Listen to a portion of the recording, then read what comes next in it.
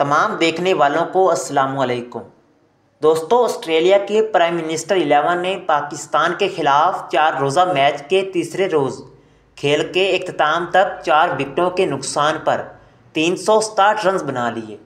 उन्हें पाकिस्तान की बर्तरी ख़त्म करने के लिए महज चौबीस रन दरकार हैं। कैमरून ग्रीन छियालीस और कप्तान नाथन मेक सवीनी चालीस रन बनाकर आउट हुए। मैट एक सौ छत्तीस रन और बियो वेबस्टर 21 रन बनाकर करीज पर मौजूद हैं।